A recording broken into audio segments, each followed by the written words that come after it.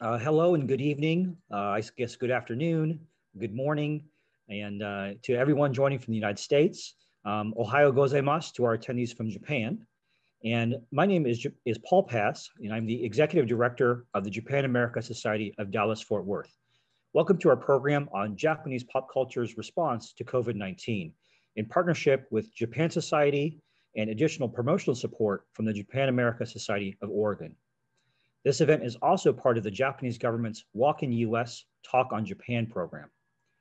We're excited to share that almost 250 people have registered from around the globe, including from 12 countries and 22 states within the, within the US. I would also like to express our solidarity with the people of Japan, who recently marked 10 years since the Great East Japan earthquake. And although a lot of progress has been made since 2011, there's still much work to do to ensure a prosperous future in Tohoku. We also wish everyone safety and health during the ongoing COVID-19 pandemic, which has affected almost everyone on the planet in some way. Before we begin, I want to go over some suggestions to maximize your experience. Please note that your cameras and microphones are off, and if there are any technical issues, such as you are unable to hear the presenter, then please use the chat function. If you have questions during the event, please use the Q&A function on the bottom of your screen. This webinar will be recorded and we plan to upload to YouTube soon on the Japan America Society of Dallas Fort Worth channel. Now I would like to welcome Kazuo Kato, who is Senior Director for Global Partnerships and In Initiatives at Japan Society. Kazuo-san, please feel free to begin. Thank you so much, Paul, for this opportunity for Japan Society New York to partner with you once again and to update our audience on our recent activities. After being closed for a year, Japan Society just reopened our building to the public on March 11th in commemoration of the 2011 Great East Japan earthquake and to present our spring gallery exhibition, When Practice Becomes Form, Carpentry Tools from Japan. For those in and also outside of New York, we'll continue to offer robust programs um, online, spanning arts and culture, business and policy, and language classes. And here are some upcoming highlights. On March 23rd, we'll be launching our 333 Contemporary Series, which is designed to engage young patrons with deep affinity for Japanese culture. Our inaugural event will center on the history of Japanese hip hop and how the music industry is preparing it for the global stage. To kickstart our sports theme program in lead up to the Tokyo Olympics, we're hosting a talk on April 7th to discuss the life and legacy of Rusty Kanokogi, known as the mother of women's judo, who played a key role in getting women's judo ratified as an official Olympic sport in 1992. Both of these programs are free with registration, so we hope some of our audience will consider attending. Please visit japansociety.org for more information. Thank you, Paul.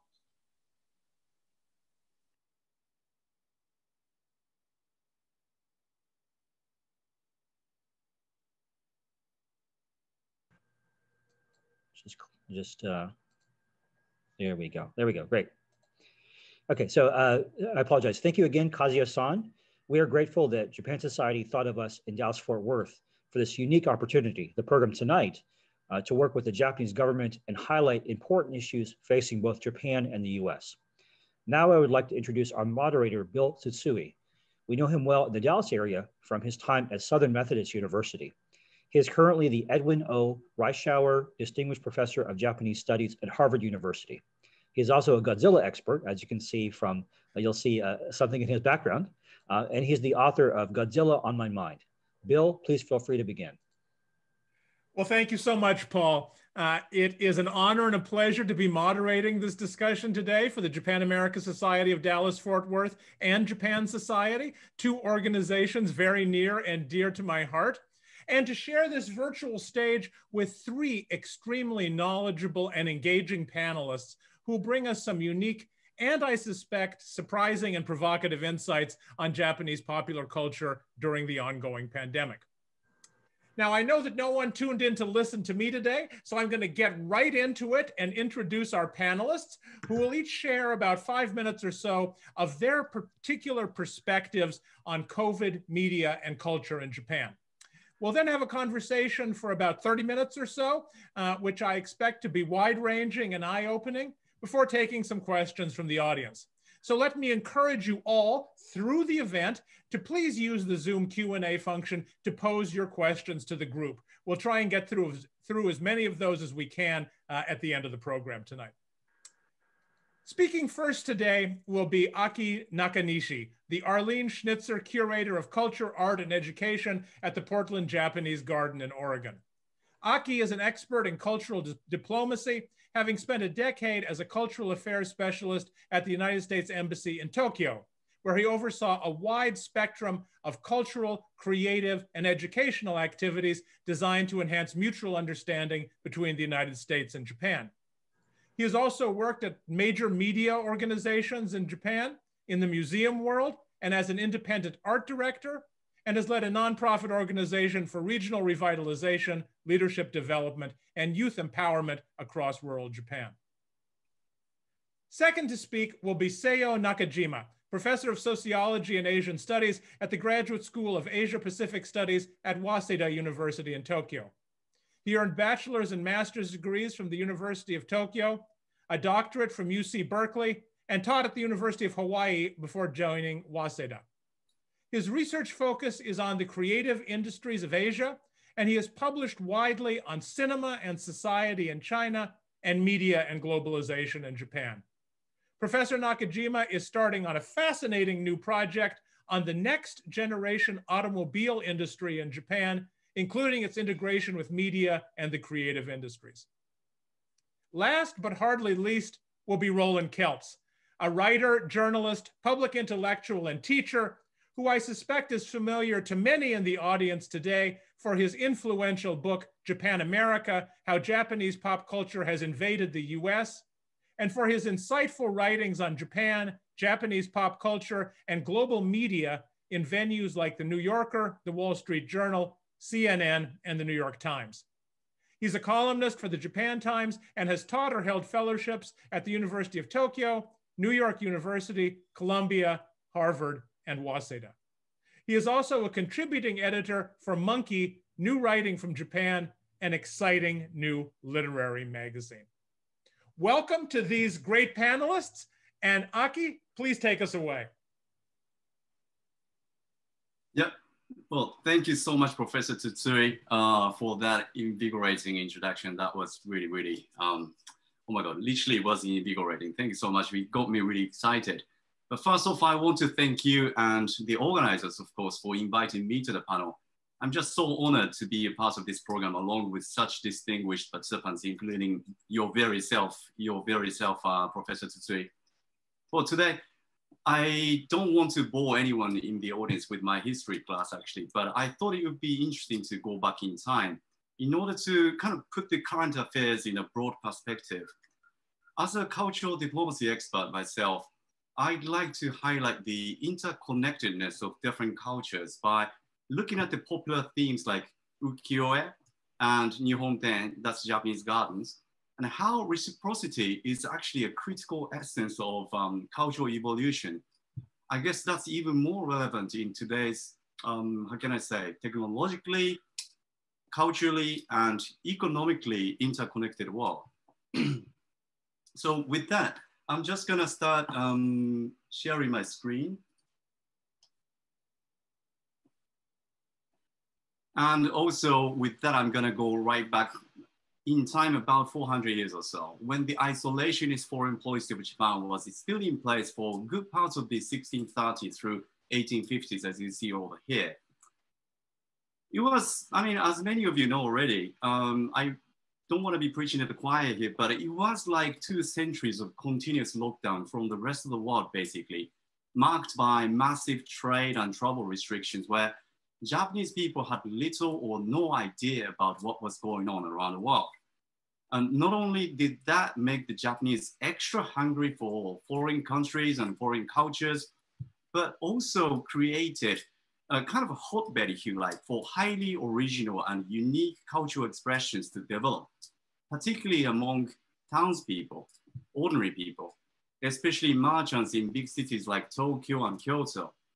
And it was during this time where some of the very iconic, some of the most iconic actually Japanese pop culture phenomena were born out of, you know, people's need for entertainment. Of course, the most famous one being ukiyo-e, um, this color layered woodblock prints. Needless to say though, ukiyo-e wasn't just born out of void.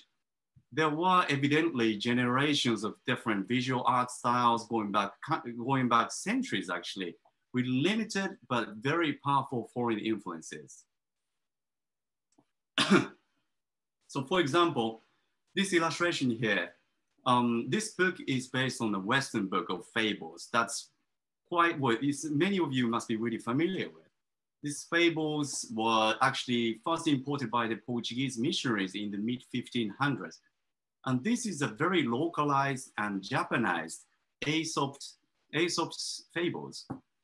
What you're looking at here is actually a very familiar story around here particularly. It's uh, the story of the ants and grasshoppers. But because grasshoppers were very rare back in Japan, back in the 16th century, they just chose to substitute that with a skater. Anyway, many, many visual arts and design practices later, ukiyo came, ukiyo-e came about in the 17th century as part of the street culture enjoyed by the very common class of the big cities. What was so unique about ukiyo-e wasn't just the style or the way it was produced, you know, with a high degree of division of labor to begin with, with carvers and designers and uh, publishers alike all working together, just like today's animation studios. But it was also marked by the very way it was exposed to the West through the international expeditions and the way it was later reframed to be highly prized by the foreign audiences. Let me show you what I mean by this. Japan officially made an um, international cultural debut, if you like, at the 1873 World Exposition in Vienna, Austria. And that's where the first official selection of ukiyo-e was juxtaposed for the foreign audiences, along with a whole host of other Japanese traditional crafts, such as the carpentry tools that are on show uh, over at the Japan Society in New York.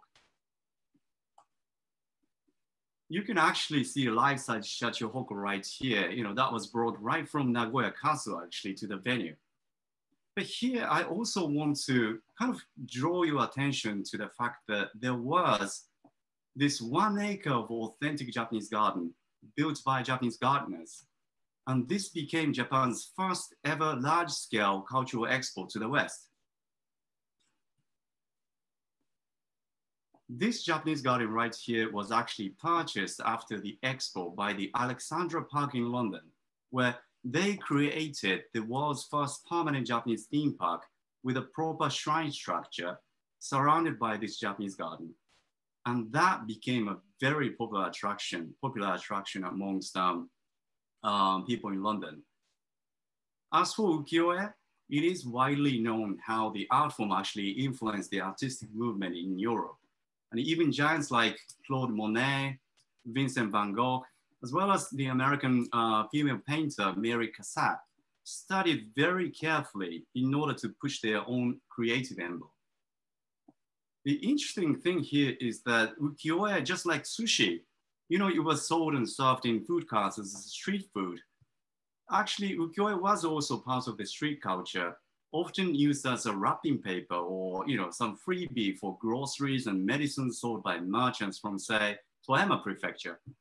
But when exposed to foreign markets, this popular, popular art was sort of canonized by and became the kind of collector's item all of a sudden by the uh, Western people, basically, being bought up by private dealers and public museums alike across the Western countries, including the United States, making it part of their high culture. Japanese garden, on the other hand, was interestingly democratized by the West, partly because the curator of Japanese Pavilion back in 1873, a German curator, Dr. Wagener, strategically portrayed the Japanese garden as people's park, where townsmen gather with their families to take a peaceful little stroll for leisure, when in fact the strolling pond gardens were, you know, pretty exclusively reserved for the rich and powerful in Japan. But because the Japanese garden was later bought up by a British leisure park, like I was talking about earlier, as a community space where ordinary people can enjoy the natural beauty crafted by master craft, craftsmen, and many other gardens actually followed suit. So the garden quickly, this style of the garden quickly became well, more propagated across Europe and also the United States, particularly after the 1876 uh, Philadelphia Expo, as well as the one in 1893 in Chicago. Today, there are over 250 publicly run Japanese gardens in North America alone. And there are many more, of course, who started in, including private gardens out there, making a whole ecosystem for all things Japanese around the world and made accessible to international audiences from all walks of life, of course. Now, of course, um, you know, Japanese craftsmen and artists are no stranger to refashioning or appropriation of foreign arts and crafts. And this was probably most famously done by Sen no Rikyu, the founder of the most influential school of tea in Japan, when he actually re-evaluated and gave a fresh meaning to the neglected everyday utensils and teaware in Korea through this new notion and new narrative of wabi-sabi. The teaware of the common class in Korea became one of the most sought after teawares among the socialites in Japan. And the rest is really history. So isolation often creates this uniqueness, but it's the interconnectedness that takes it to the next level through hybridization.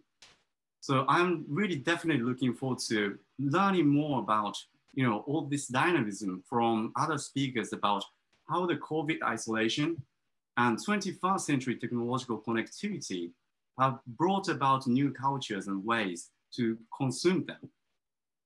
Thank you so much.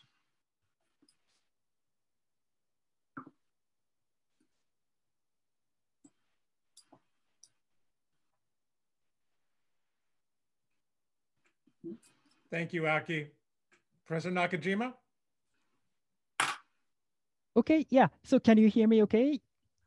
All right, yeah. So thank you, uh, Sensei and also Nakanishi-san for providing important, uh, very important and interesting historical background. And I will talk about, as, as many of you may know, Kimetsu no Yaiba, the uh, comic book film and the anime manga uh, became a huge success in Japan in the midst of COVID-19. So I will start just with uh, you know, introducing this phenomenal success of Kimetsu no Yaiba and expand it to the discussion of more general response of Japanese pop culture to COVID-19. And doing in doing so, I'm a sociologist, so I focus on two things. And the first, the industrial product context of production distribution. And second, social cultural context of consumption and reception of popular cultural works. And I don't think I need to introduce Kimetsu no Yaiba success. Um, I think every uh, many of you may know, but you know, Kimetsu no Yaiba uh, became the uh, top uh, grossing film uh, when um, after only I think a little more than two months uh, after its release in October 16th, 2020, which was in the midst of COVID-19 crisis. And also just in terms of comic book sale, um, I think it sold like 150 million volumes in, I mean, Japan uh, alone, I think. And that means more than one volume for all the people in Japan. So it's a very huge success. And first, industrially, how this came about. And, you know, I have to be brief. I have some notes, but I will be brief. And my observation is um, basically, of course, you know, many say success of Kimetsu no Yaiba, this particular anime, uh, manga, comic work, is the uh, result of this extraordinary ordinary situation of uh, COVID-19. You know, people stayed home, people wanted entertainment, and also maybe it the theme of Kimetsu no Yaiba, um, like protecting family, perseverance in the midst of crisis. These things resonated with Japanese uh, culture. Maybe these are their arguments. But my observation is a bit more general, so a bit um, different from this very, you know, COVID-19 focused explanation.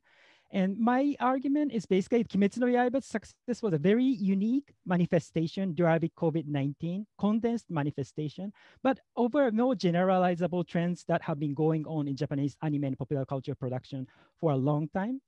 And I don't uh, need to go over, and I think uh, other speakers will be talking about this issue maybe in more detail. But just for example, uh, this success of Kimetsu no Yaiba was a very typical so-called media mix uh, strategy, producing contents in a variety of media formats, such as serialized comics, independent comic books, uh, published comic books, uh, TV, anime, uh, film, spin-out novels, and also product tie-ups.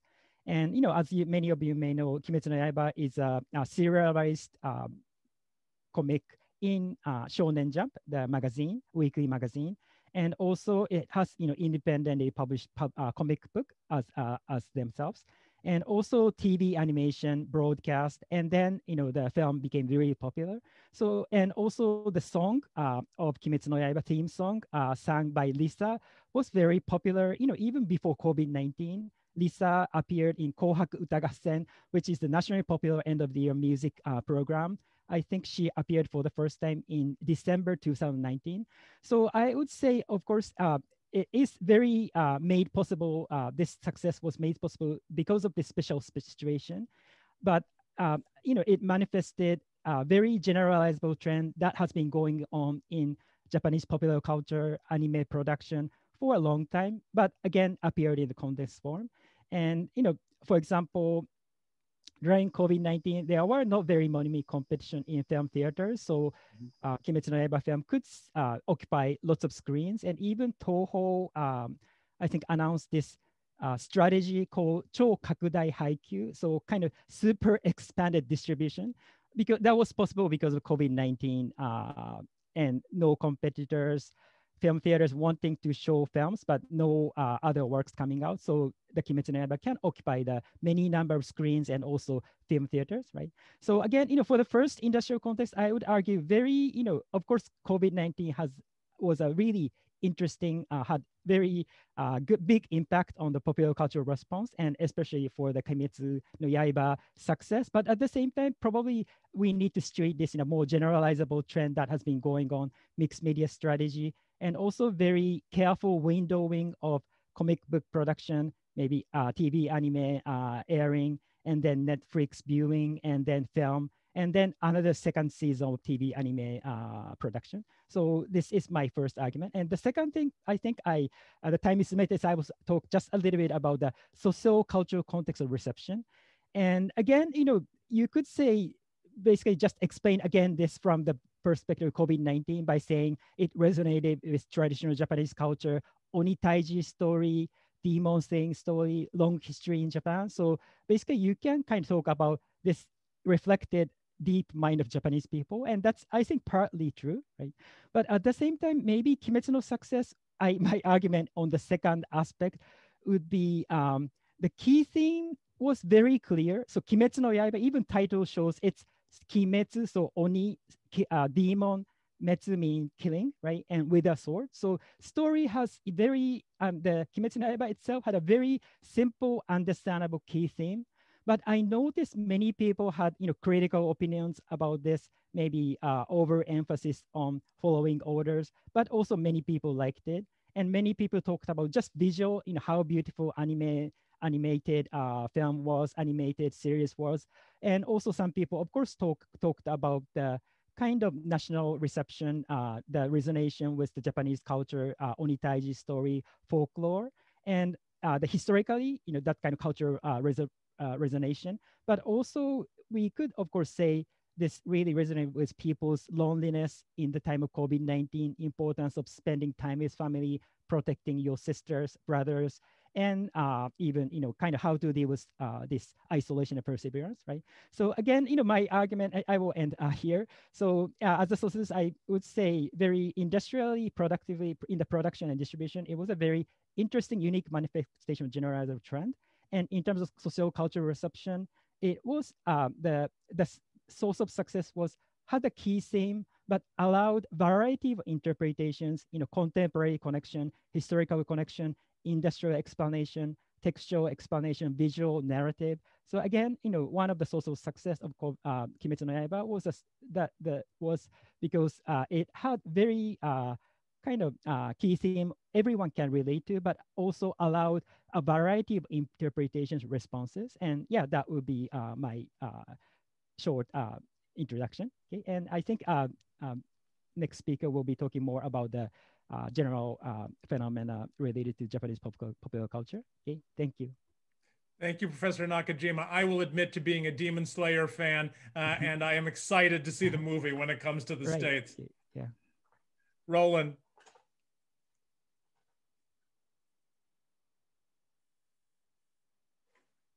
Sorry, Ohayo gozaimasu. Good morning from Tokyo.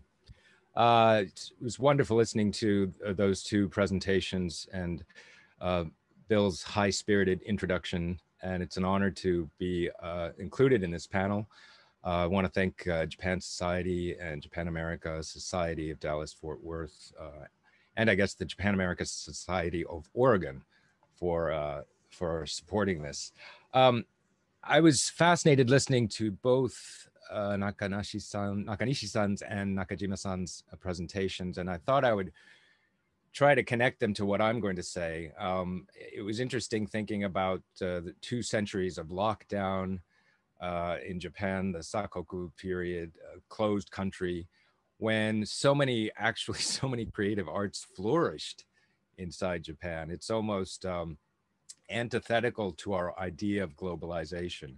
We tend to think in the 21st century that globalization and the exchange of cultures is going to produce uh, all kinds of innovation and creativity. But in fact, in Japan, as Nakanishi-san points out, although there were some foreign influences, of course, uh, Japan's uh, native cultures really uh, flourished and advanced.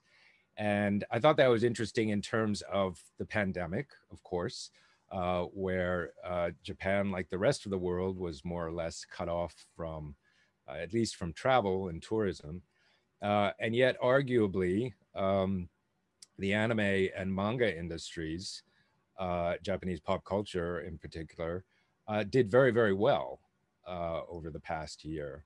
Uh, Nakajima-san talks about the enormous, literally record-breaking success of Kimetsu no Yaiba, Demon Slayer, uh, in a time when people were largely locked inside. They still went to the cinema, uh, even if they couldn't eat popcorn. they went to see it, um, in record numbers. The other thing I thought was quite interesting was uh, Nakanishi-san talking about isolation and hybridization. So while this pandemic and COVID-19 has certainly uh, shut down the borders, um, we see an increasing number of co-productions in the anime industry uh, where uh, uh, non-Japanese companies, particularly streaming platforms like Netflix, but other produ production companies in Los Angeles and London are working together with Japanese anime studios to create co-productions, sort of a new hybridization uh, in the anime industry. And that's grown dramatically over the past year, despite the pandemic. Everybody's been doing Zoom meetings like this and, and connecting across uh, the internet to co-create uh, and hybridize. Um, and I'm gonna go to my slides now. Um, which are fairly uh, basic, but I think help make the two points I want to make. Um, this year, the, the big story in Japanese pop culture, uh, as I mentioned, the success of streaming media. And I just wanted to put this slide up there at the beginning. A lot of people don't realize, and this I have to thank my friend Larry Mall, who's here in Tokyo, who uh, has worked uh, for Warner uh, and also for Sony and Larry pointed me to this, which is that Japan uh, is has 11 of the top 25 highest grossing media franchises of all time. 11 of 25, and Japan is the only non English speaking country represented on that list. So we're talking about multi billion dollar uh, franchises, identifiable franchises. So uh, like the uh, McDonald's arches. You can identify them right away. And um, just showing you in the top six there, you have uh, Pokemon and Hello Kitty in the top two slots. And you're just uh, ahead of Star Wars and Mickey Mouse and Winnie the Pooh. And then Anpanman down there in number six. Uh, the slide's too long, too big to show you the all 11, but it's quite a striking uh, image. Over here we have uh, the anime industry, the latest report from uh, the Association of Japanese Animation And you can see that since 2012, where there was a bit of a lull, partly because of the uh, Tohoku earthquake disasters, uh, things really skyrocketed in the anime industry and have continued to soar each year, uh, rising above the year before. And quite dramatically, that's the inflection point after 212. Uh, you really see things accelerate. And if we go to the next slide, um, you will see that um, the light blue there is representing uh, overseas sales, uh, which has that no, that number has grown most dramatically. But one of the surprises in 2019, and I interviewed people from the Association of Japanese Animations, they were quite surprised at how strong domestic sales have uh, continued, how robust the domestic sales in anime have been. And one of the reasons I was told was that um, there's just such an age range now for the anime viewer in Japan. So you have little kids who are uh, into Anpanman, the title I mentioned earlier, uh, and they estimate the uh, AJA estimates all the, all the way up into Japanese in their 60s, uh, who are ardent anime fans, not necessarily otaku, not necessarily obsessive, but who will go to the cinema, for example, to see Demon Slayer, Kimetsu no Yaiba, or will go to the cinema to see uh, Evangelion, which uh, the the latest uh, iteration of that franchise was released, I think, just last week or two weeks ago, and uh, first weekend took in 30 million uh, or so at the box office uh, again in the middle of a pandemic, which is which is a huge number. Um, so the the domestic audience is robust. And uh, the AJA uh, points out that uh, again streaming media has helped drive this too.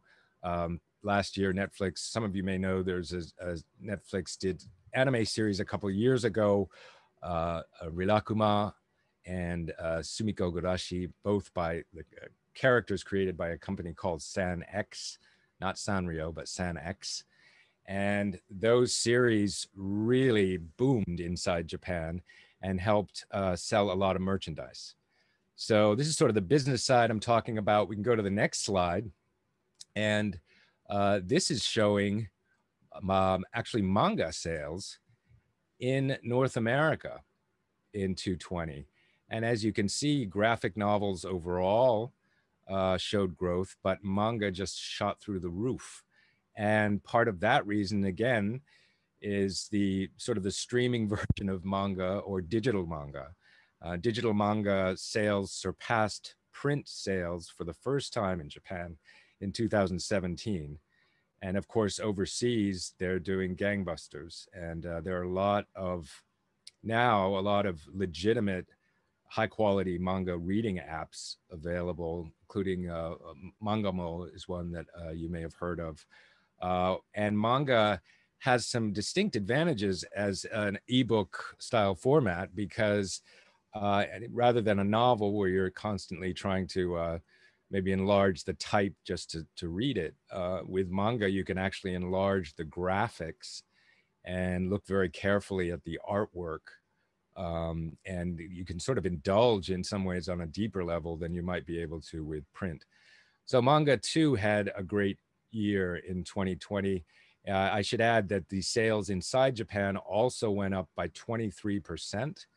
Um, so the industry, the manga industry inside Japan saw record sales in 2020. There, the number is 43% in North America and 23% inside Japan. Um, so since 1978, when they started assessing those sales, uh, manga had a record year inside Japan. The next slide uh, we'll focus on uh, the, the, the big story uh, in Japanese pop culture this year, which was uh, online media, and uh, Crunchyroll, which some of you may know, started actually as uh, something of a something of a pirate site back in 2006. then went legitimate, legitimately licensing titles by 2008, 2009 and now is a very, very big company and it is totally dedicated to anime, unlike Netflix. Netflix does, uh, as, as you know, all kinds of different content categories. Netflix hit 4 million paid subscribers and at the same time, roughly the same time, was purchased by Sony for $1.2 billion. This happened at the end of 2020. So in the pandemic year, Sony is clearly looking to expand its online presence, its streaming presence, uh, and particularly expand it in the form of anime. So anime streaming was one reason uh, that Japanese pop culture, one of the ways Japanese pop culture responded to the COVID situation. Fans certainly, uh, uh, you know, fans drove the online interest. Um, and I should add, Netflix itself reported that uh, last year, uh, anime viewership grew by 50%. Uh, their, their statistics show that anime was in the top 10 viewing list in over 100 countries uh, that Netflix serves. Uh, and uh, that's apparently a record 100 million households watching anime. So it's not just streaming content that grew in popularity, but anime in particular exploded in the streaming realm. And the next slide, this is a phenomenon that uh, some of you may know, know about. Um, it's called anime VTubing. Uh, YouTubers are, of course, people who make their own videos uh, on YouTube, and they're usually quite entertaining, sometimes as tailored to a specific subject. Well, VTubing is virtual YouTubing, and the character is an anime avatar. And um, this character you're seeing here is named Kizuna Ai, and she is the most popular anime VTubing avatar at, uh, at the moment. Um, actually started, uh, was, was, so I should say she launched in 2016, but 2020 was really a banner year for the character and for lots of other anime VTube anime VTubers, excuse me. Um, so this is interesting going back to one of uh, Nakanishi-san's comments about a sense of community in the garden and so on, because actually uh, I've, I've been doing some research into VTubing and talking to people who are on the creative side and who are on the fan side. And it really is a sense of community that drives the popularity of these characters. And in fact, um, the people behind Kizuna Ai told me that uh, they started to subtitle her performances in English because there were so many English language fans commenting on her uh, videos. This is also, I should mention, a profitable enterprise. Um, on YouTube, you can you can uh, donate through a service called Super Chat, um, which is uh, allows you to donate a certain amount of money so that your chat comments rise to the top.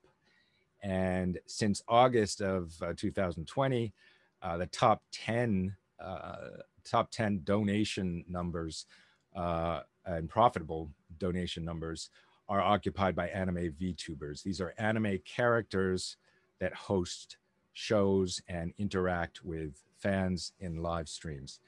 Uh, the next slide will show you this uh, idea of hybridization.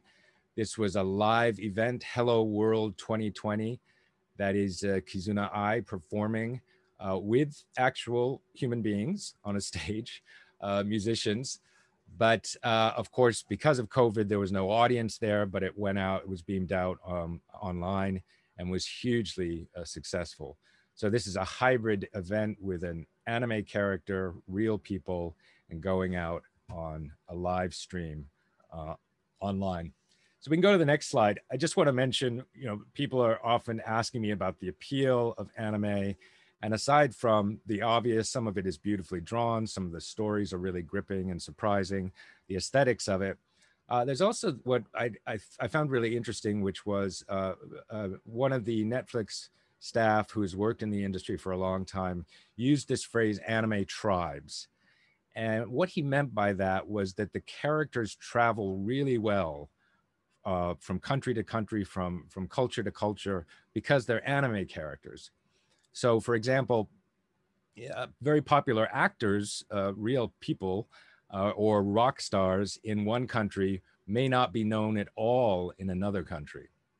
Uh, one example is uh, Oprah Winfrey, who everybody knows in, in North America.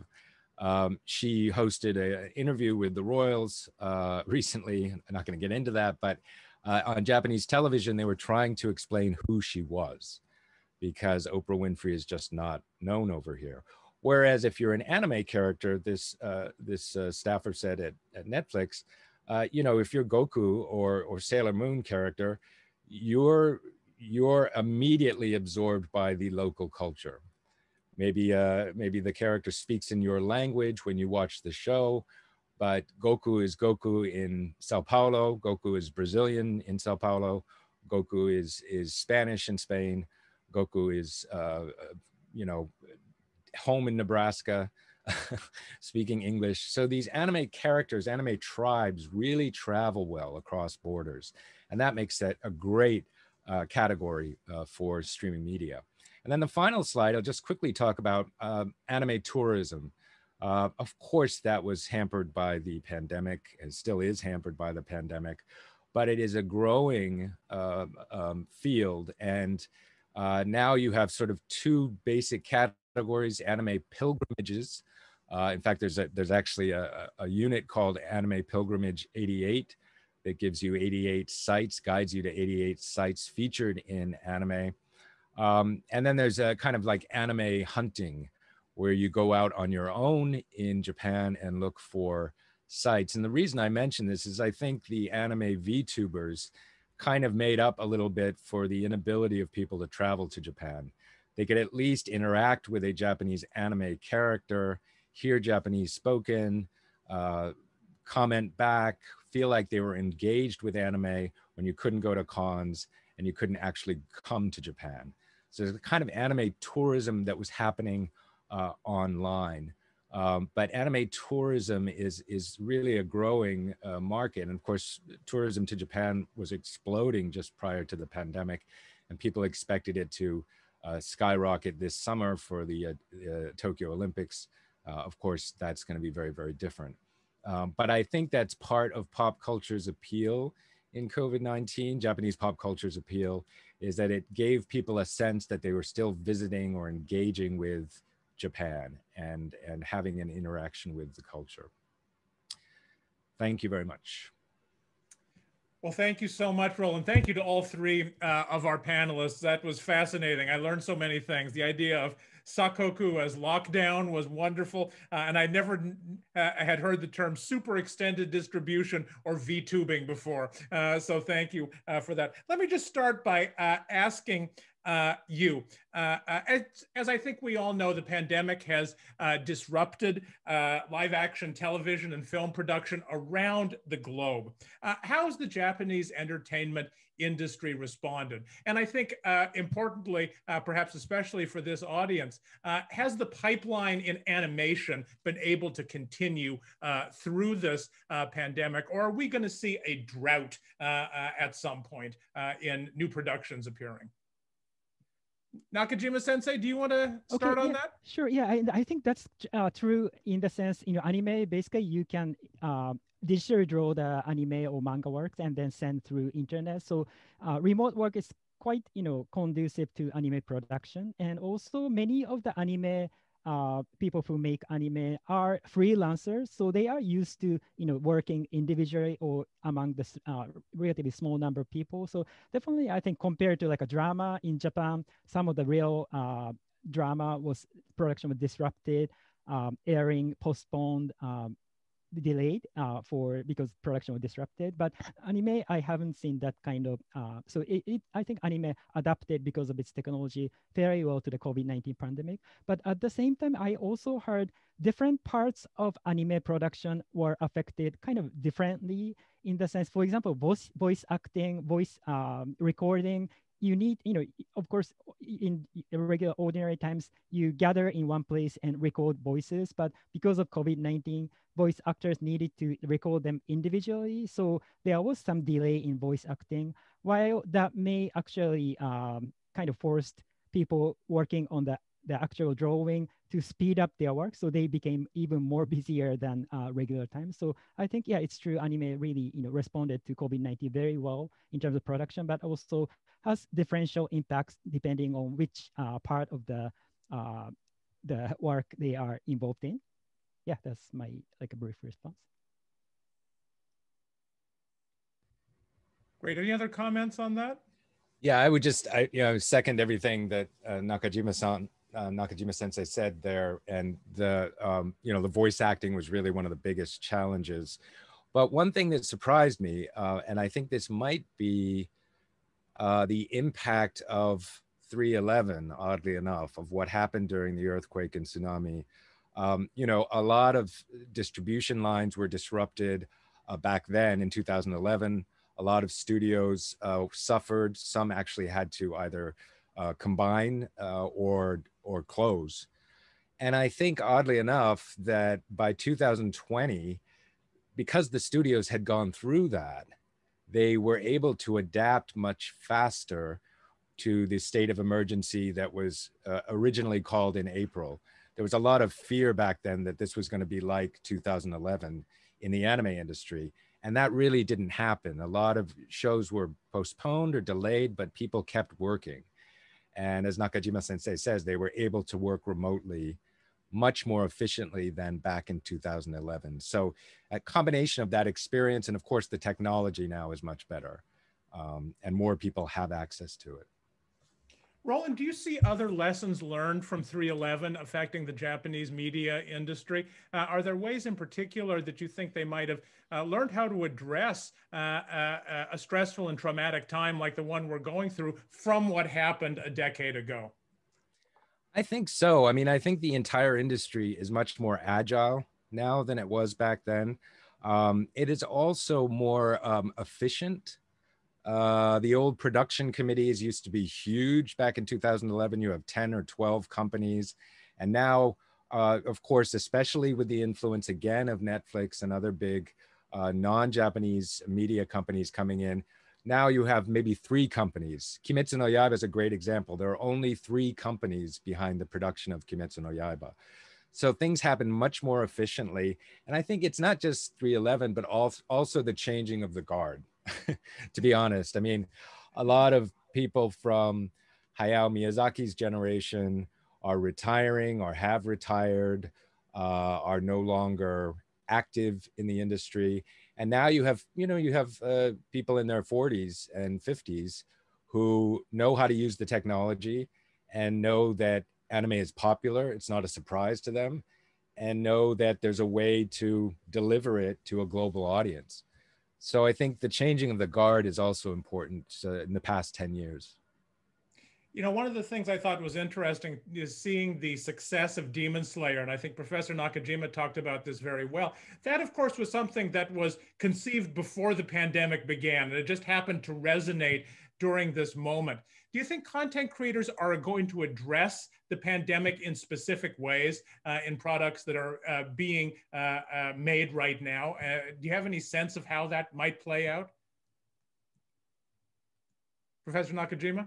Oh, okay. Yeah. And of course, you know, difficult to foresee what kind of anime production will be coming out. But yeah, so definitely, I think, you know, there may be and Japan has some tradition of dealing with uh, pandemic in popular culture production. And one is Kansen, uh, I forgot the title, but one film in like 2009, Kansen Retto, maybe, you know, they dealt with this issue. So yeah, definitely maybe coming out. But the other point would be, I, I don't know what other people think, but you know, Japanese animation, not every animation, but has lots of you know many works that we was if not like a virus and pandemic, but kind of crisis situations. And you know of course different reading could be possible evangelion is that you know it's kind of very uh, like an impact first impact second impact the crisis for the human being. And even shingeki no kyojin which is also another anime manga production isolated in the walls and in a very you know crisis situation. So i think in general japanese popular culture depicted many situations of crisis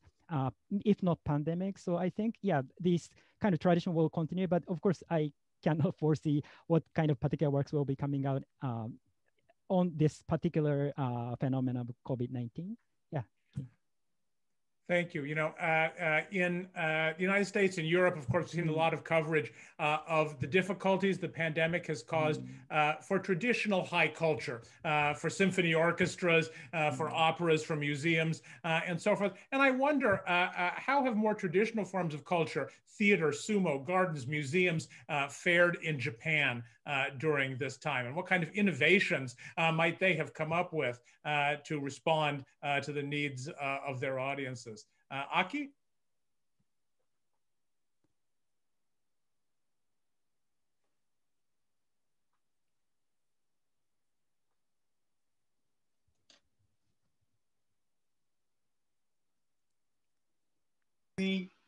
Yeah, okay. so I was saying, you know, how long do you have for this question, right? I think I can quickly talk about three areas, I guess, namely um, museums, theater, especially kabuki, and another one, sumo. The well, museums, you know, um, what I can see in the museums, uh, museum landscape during the lockdown is completely in line with the rest of the world, actually, being forced to close and countless temporary layoffs and shuttered visitations, you know, less programming, more virtual programs ranging from like uh, virtual tours and remote film screening, online workshops, along with uh, you know various webinars of many many times types actually, and they are very common across the board. But the uh, situation, of course, is pretty dire across the industry. But a lot of um, museums, especially smaller and uh, more nimble municipal and private museums, are taking this opportunity as a kind of a you know, opportunity to reassess who they are and what their core competencies might be. So kind of steering away from, say, you know, decade-long model based on big and expensive blockbuster shows, usually from abroad in order to just draw crowds.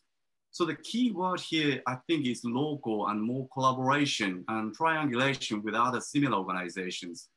You know, for example, there was an interesting exhibition of uh, Western modern art thematically and virtually linking three municipal art museums in Yokohama.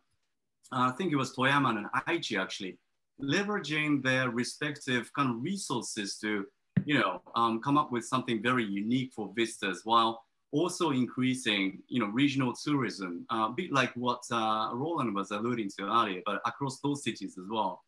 And very interestingly, the more traditional uh, forms of entertainment, particularly sumo and kabuki, you know, kabuki is a traditional theatrical performance. Again, it's one of the products of the isolationist policy period actually, are going incredibly well.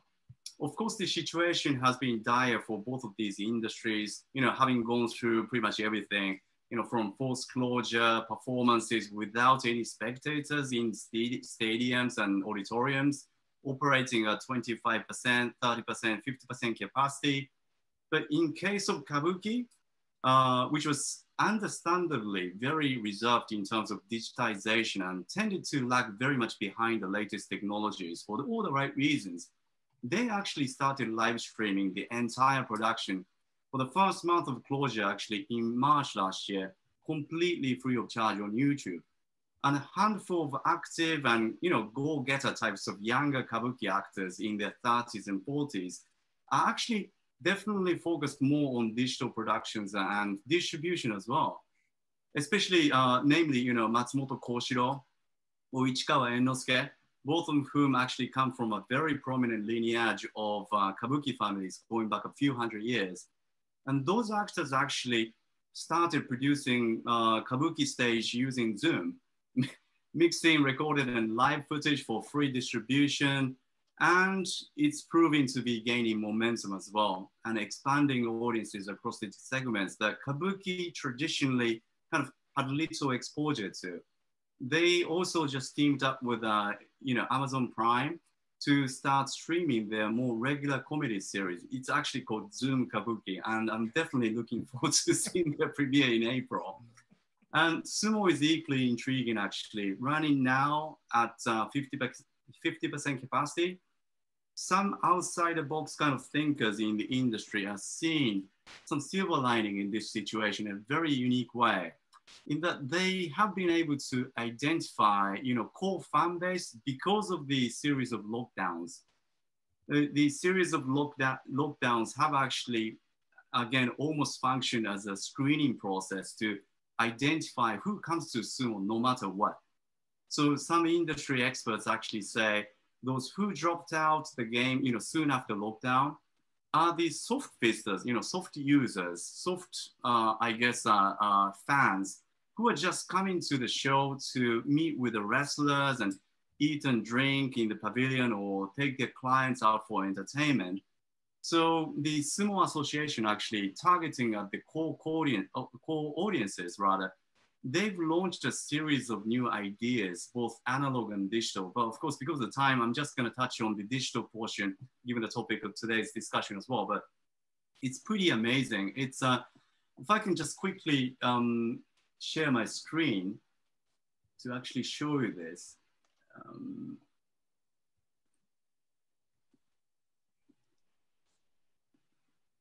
they have the association. They have actually come up with a new mobile app and that lets um, fans collect trading cards of all listed wrestlers digitally.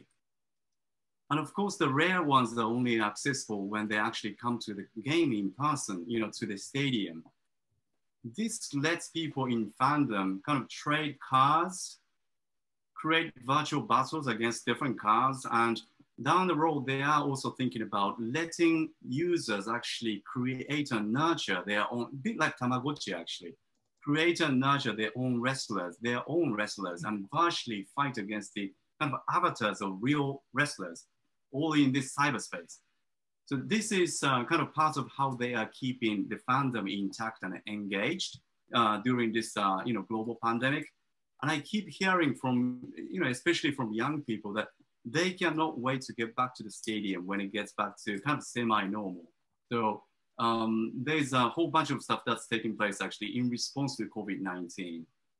Uh, let me stop sharing the screen. Thank you so much. That is just uh, fascinating. There are a huge number of questions from the audience, which I'm not surprised about. But before we get to that, I just want to ask you very, very quickly uh, one uh, question for each panelist. Uh, look into your crystal balls for me. Uh, can you share your thoughts about the future of Japanese popular culture over, say, the next five years or so. Uh, what kind of lasting impact do you think uh, the pandemic uh, might have on the Japanese media industry and the global profile uh, of Japanese entertainment? Roland, do you want to start us off? Yeah, I mean, I can speak uh, to a couple of, of points. Uh, one is that I think what I mentioned earlier, the increasing number of co-productions in the anime industry, that's going to continue to expand. Um, Netflix in particular is pouring a lot of money in, but also uh, companies in China are as well. And I think what you're going to see emerging is um, is a, a kind of fractured uh, or categorical approach where some fans will be uh, devotees, kind of like uh, Nakanishi-san was saying about the sumo industry, and they will only want to watch what they might consider pure anime made in Japan by Japanese artists, 2D, not 3D, not too much CG, mostly the classic look of Japanese anime. And then there will be a broader audience, maybe a softer audience that likes all kinds of anime and they'll they they might uh, what you might call hybrid anime uh, or or co-produced anime and that will become its own category. I think that will become a separate category. And uh, the fans are already becoming more uh, careful about their distinctions between an anime that's produced in 3D with international artists versus an anime produced at a, a, smaller anime studio. The other thing I should mention, and this, this just happened quite recently, uh, Netflix just announced that they have leased two uh, studio uh, sound stages uh, from Toho Studios. Mm-hmm. And they are planning to push the live action production in Japan. And, you know, they've, they've had some success with live action dramas on Netflix, uh, produced in Japan with Japanese actors and Japanese uh, artists and directors. Um, I think Naked Director is probably one that most people have heard of. Uh, but there's uh, right now, there's a big uh, uh, samurai documentary on Netflix that's apparently doing very, very well. So, you know, when I talked to them last time, they said, we're not just pushing anime. We really want to push Japanese live action and, and, and get some real money behind these productions because they believe that the creativity is here. The ideas, the stories, the performers are here in Japan. They just need to get them out. Fantastic. Nakajima Sensei, any thoughts looking forward? Okay, yeah. So I think yeah, it will be. You know, I think it's a good time for Japanese popular culture, both live action anime. You know, anime could respond to COVID nineteen situation very effectively, and also Netflix rise of subscription economy in general. You know, the live action drama like Imawa no Kuni no Arisu, which was popular in Japan but also becoming popular worldwide. So I think its uh, future is bright. Uh, that's one observation.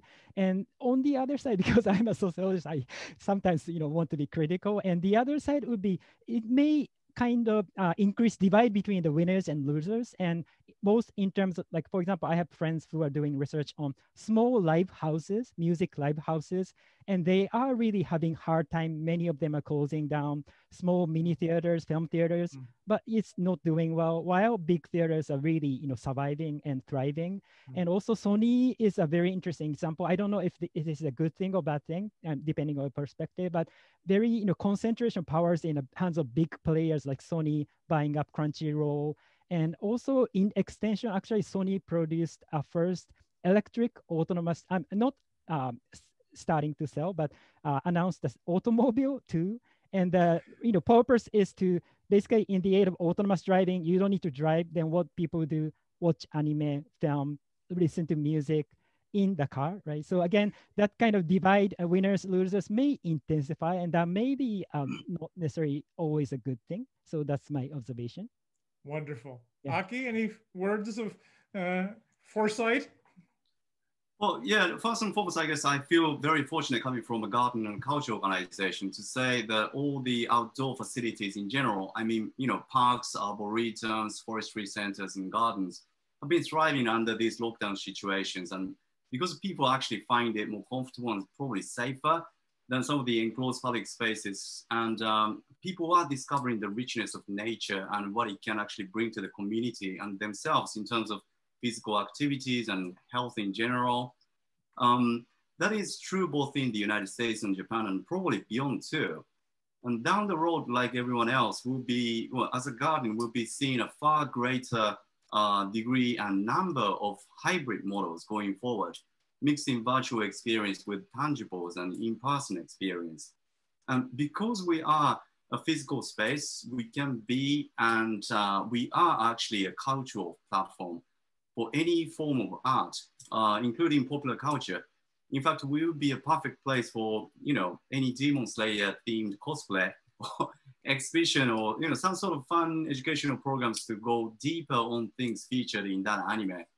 I mean, we have, uh, you know, like Wisteria Arbor, you know, Castle Wall, uh, and the gardens and the whole nine yards. So, but that aside, um, Japan is a huge creative engine of the world for sure it's very peculiar.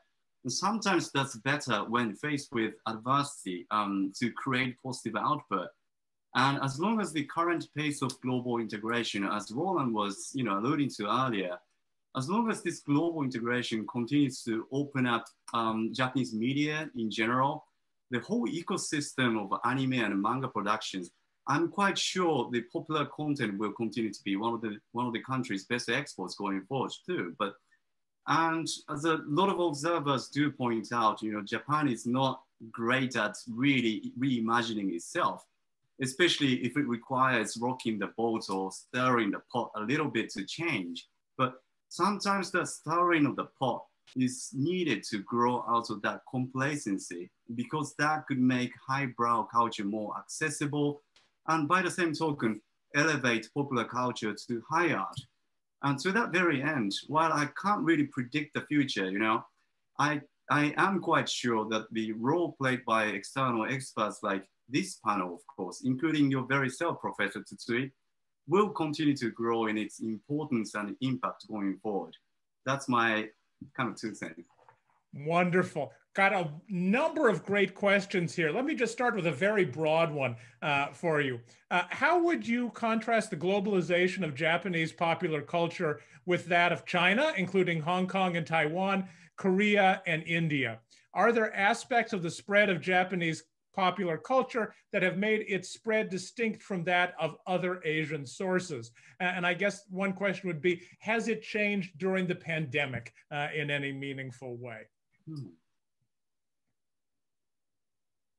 I think maybe Nakajima Sensei would be well placed to answer oh, this question. Yeah. So yeah, maybe yeah, and again, yeah, I don't have like immediate answers here, but you know, as um, these the trend in using internet and you know globalization is definitely making different uh, popular culture from different Asian countries uh, spread to in uh, different parts to different parts of the world. Like K-pop use, you know, K K-pop music, their use of SNS, uh, internet, YouTube, and maybe a little bit um, how, how, how do you say the softer uh, control of property rights and uh, copyright that is you know definitely benefited the popularity rising popularity of K-pop culture. So I think that kind of things happening, like use of YouTube, use of SNS by Japanese companies and anime production. So in general, I think these technologies, you know, emerging technologies is pushing um, Asian popular culture in a positive direction. So that's one thing. But yeah, other than that, yeah, I don't know much about the uh, Korean popular culture and Chinese popular culture and animation. Actually, the size of the production is very big, and I don't think I have time to uh, discuss this much. But Chinese government is really pushing toward promoting domestic production of Chinese animation and even cosplay exhibition. It used to be more like people are wearing Japanese cosplay, but they are promoting like a national popular culture production. So that may become, in terms of size, very influential. But again, you know, because of different issues, Chinese popular culture hasn't been really popular. Their soft power strategy hasn't been really successful abroad for many uh, different reasons. But again, you know, I think they are. I think you know one of the dynamics areas the most dynamic areas in terms of popular culture production, export, exchange is definitely Asia, including Korea, uh, Japan, and Taiwan. And I, I think I, that's uh, what I can say for now. Roland, any insights on that? Yeah, just a quick sort of broad insight, but um, comparatively, especially if you're comparing the Korean K-pop industry to Japanese uh, music industry or even the anime industry, comparatively, um, the appeal of Japanese popular culture has has been demand driven. In other words, mm-hmm. it hasn't been because Japan promoted it very effectively or mm-hmm. poured money into promotion or advertised. It's because audiences all over the world have demanded more pop culture from Japan. Mm. By comparison, the Korean pop industry is very aggressive. And they, a lot of, most of the people I've met in the industry speak English uh, they fly to LA, they fly to New York, they have meetings there. They're very conscious of producing pop music that appeals to a Western market. Uh, so they study the recording techniques in Los Angeles and bring back beats to Seoul and have exchanges. And K-pop artists will record in a studio in Los Angeles. By comparison, Japan is still a sakoku, you know, closed country by comparison. And you know, the Japanese pop music industry is still largely content to sell to Japanese. And um, a lot of it, a lot of the hit songs are still sort of modeled on uh, on karaoke. So, you know, a song that Japanese people can want to sing when they go to karaoke. Uh, whereas K-pop is more liable to be focused on dance clubs around the world and wanting to get people to uh, to internationally to buy into Korean pop music. Again, that's a broad brushstroke, but I think there mm-hmm. that is kind of a key difference. Um, that leads nicely into a question asked by Fred Katayama, who many of you may know could teach us all a lot about uh, business uh, in Japan. Uh, and Fred asks Could the popularity of any new developments in Japanese pop culture lose part of their audience when Japan and the world return to normalcy? Uh, in the US, stocks of companies like Zoom and exercise bike maker Peloton are dropping as investors fear demand will drop. Roland, what do you think? Well, I can. Uh, that's a great question from Fred, and I can uh, say that I've been talking about Japanese VTubing, uh, but just uh, the November December of last year, an American VTubing company started up in California and introduced eight characters, uh, VTubers who look anime like, but are very American in their behavior and in their attitudes. They're a bit snarky. They're not they're not as kawaii as the Japanese characters. So yeah, clearly something like VTubing, which exploded in Japan, uh, now it's going to be it's going to be produced elsewhere, and somebody else might take the idea and, and run away with a, a, huge success. So that's, but I mean, I think that's that that's always the possibility. I mean, you, you know, yeah, and manga, something like manga has been around for so long. And as you saw from the graph I put up, manga sales just spiked uh, in North America and in Japan beyond graphic novel sales. So there's still something about manga made by Japanese artists primarily that is distinctive from graphic novels from all over the world. Um, so there's still, you know, there's still an appeal that is distinctly Japanese. Other comments on that?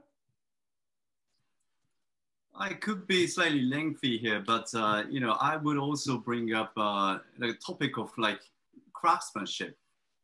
That could never quite be emulated by, you know, in a short period of time by other countries, I guess. Although a lot of Japanese craftsmen or Japanese, you know, animators are not really self-conscious about how much of high degree of uh, you know um, skills that they possess necessarily because they don't really compare themselves to the outside market. So that's their kind of advantage, but at the same time, you know, real disadvantage.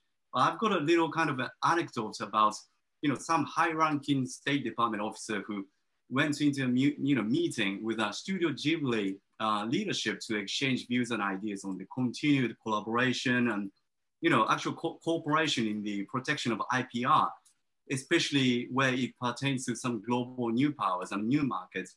So while there was a shared vision for the industry-wide protection against piracy of all copyrighted materials, there was a clear difference in the reasons why the protection was needed in the first place.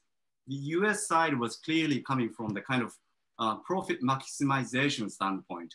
While Studio Ghibli, although it's not representative of, uh, of all of the animation studios in Japan, but was more focused on avoiding, you know, disservice to the artists and producers by allowing piracy overseas.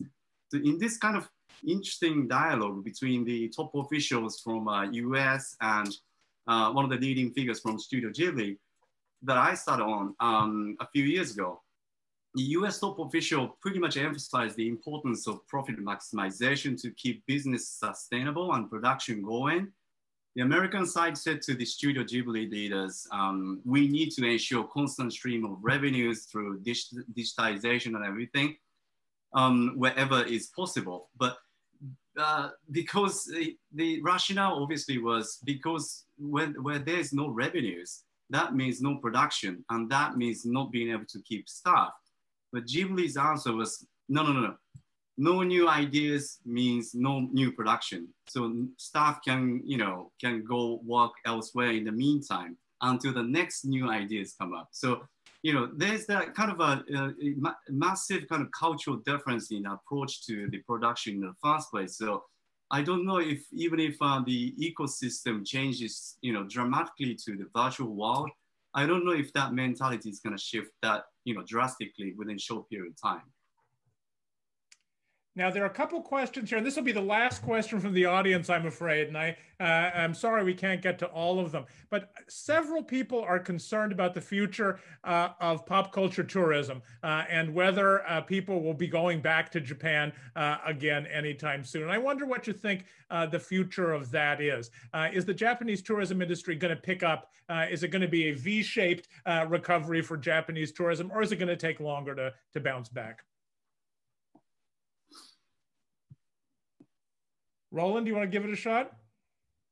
Well, I mean, I I think it's going mm. to it's going to spike very quickly as soon as mm. people can return to Japan. You know, it's not not just anime tourism, of course, but but the image of Japan for most people overseas is of a very safe country with a beautiful natural landscape and a very strong public infrastructure. And one of the things we've seen in the pandemic is that countries that do not have a strong public infrastructure uh, have largely failed to protect their citizens. So I think the image of Japan as a safe place, a clean place, a good public infrastructure, that's not going to go away after the pandemic.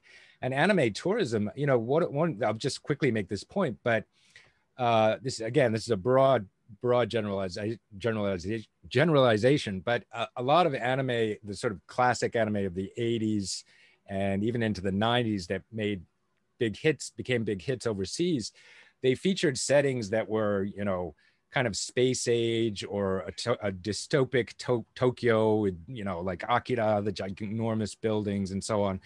But a lot of more recent anime in the 21st century have really depicted a quite realistic Japan. Mm-hmm. Uh, you know, I showed that uh, uh, image, which is obviously from Shinkai Makoto, who's one of the most popular uh, anime directors alive right now, a younger director. And he sets his stories in very authentic, almost hyper real versions of Tokyo. And you can see the sites as soon as you get off the plane. You can see where Shinkai Makoto's work is set. And that's true of a lot of uh, recent anime hits, international hits. And so that has really driven, I think, the tourism is that people can come and look at the show they love and actually go see the site where a scene takes place. And you couldn't really do that with Ghost in the Shell, you know. You, mm. you, you, you, couldn't, you, couldn't really find uh, Kusanagi's room. Uh, but you can do that with a lot of anime in the 21st century. So I think that's going to continue. Um, Japanese artists seem to be very comfortable now setting works in Japan. Mm. Thank you so much. I really appreciated all your comments. I appreciated the very engaged audience uh, tonight. And uh, here's Paul uh, from the Japan America Society. Well, thank you so much, Bill. And uh, thank you to all of our speakers. Thank you to everyone. Um, we, we can go on well into the night and well into the morning for those in Japan, uh, just mm-hmm. talking about everything related to pop culture. And there's so many ways to look at it as well. So we heard from Nakanishi-san looking at more of a historical perspective. We heard more of the uh, the contemporary or modern take from Roland and, and uh, Nakajima, Nakajima Sensei as well. Um, again, if you do have any questions, I, I've saved all of those so we can uh, we can share with the speakers. Uh, I cannot guarantee that you will receive a response, but uh, we can try. Um, so again, I, I, have recorded those. So again, thank you to our amazing panel of experts and our moderator for helping us better understand pop culture and its importance during COVID-19, which although that it, it began in 2019, we're still experiencing it in 2021. Thank you to our event co-presenter, Japan Society, the promotional partner, Japan America Society of Oregon, and the Japanese government's Walk in US Talk on Japan program for its support. We'd also like to express our gratitude to all of you, the attendees, for your eagerness to explore contemporary Japanese culture.